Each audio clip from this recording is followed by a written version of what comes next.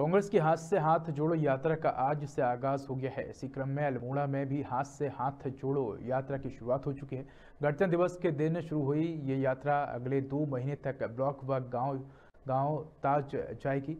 यात्रा के पहले दिन जिलाध्यक्ष भूपेंद्र भोज के नेतृत्व में कांग्रेसियों ने माल रोड में शिखर तिराहे से जीबी पंत तक यात्रा निकाली और इस दौरान जिलाध्यक्ष भूपेंद्र भोज ने कहा कि आपसी भाईचारा व सद्भावना के संदेश के साथ साथ कांग्रेस कार्यकर्ता भाजपा सरकार की नाकामियों व प्रदेश में फैले भ्रष्टाचार बढ़ती बेरोजगारी समेत अन्य ज्वलंत मुद्दों से जनता को अवगत कराएँगे।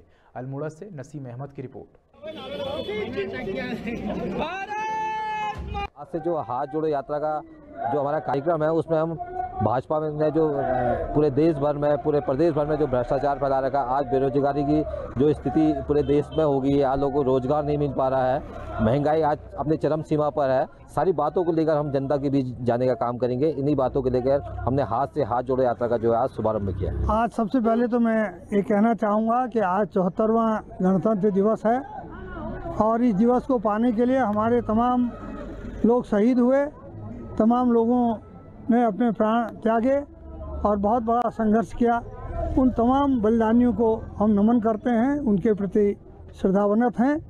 उनके प्रति कृतज्ञता अर्पित करते हैं। आज पूरे देश भर में हाथ से हाथ जोड़ो यात्रा कांग्रेस के तत्वाधान में निकाली जा रही है।